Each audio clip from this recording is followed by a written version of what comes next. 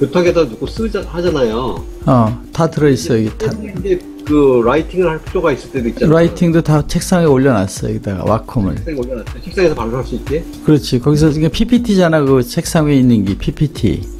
거기다 쓰면 프로젝터로 나가잖아. 쓰기가 어렵잖아. 응?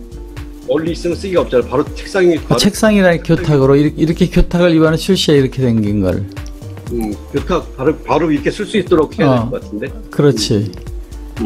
거기서 쓰면 그게 PPT 화면에 쓰기를 하면 지금 나도 이제 여기 여기다 그 해놨어 이렇게 쓸 수 있게 음, 쓸 때는 음, 물론 여기서도 쓰지 여기서도 뭐 뭐 메타 교실 이렇게 다 쓸 수 있지만 이거를 자세히 쓰려면은 와콤이나 이런 그치. 타블렛이 있어야 되잖아. 그게 꼭 있어야 돼요.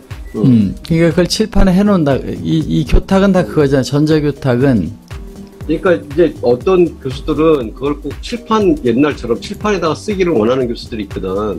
음, 근데 칠판에다 쓰게 되면 교수가 뒤를 등, 등을 돌리고 뒤통수로 보여줘야 되기 때문에 음, 그는 그거는 굉장히 안 좋다고 생각해. 그냥 차라리 와콤에다 쓰고서 학생들이 그 쓰는 거를 보여주게 되면 음. 그 학생들이 훨씬 더 집중이 높지. 그, 선생의 뒷모습을 보이면서 칠판에 쓰는 거를 학생들이 보게 되는 건 내가 본 마이너스라고 생각해요. 아니 그런 걸 그래서 좋아하는 사람이. 전자칠판 가격도 좀 만만치가 않고 그래서 네, 우리가 그 타치 프레임하고 센서를 줘요. 네, 전자칠판이나 프로젝터에도 음, 그 저- 거기다 쓰게 프로젝터도 쓸 수 있고 전자칠판이든 일반 칠판도 프레임을 줘. 음. 치- 거기 백목으로 써. 그런데 그게 우리 모니터에는 전자칠판 써지는 거지.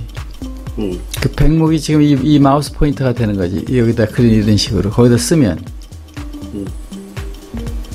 그걸 카메라로 찍어서 할 수도 있지만은 그냥 화이트보드에 쓰는 것처럼 해놓고 들어갈 수 있게도 그걸 해주고 있어요. 이제 곧 출시를 하는데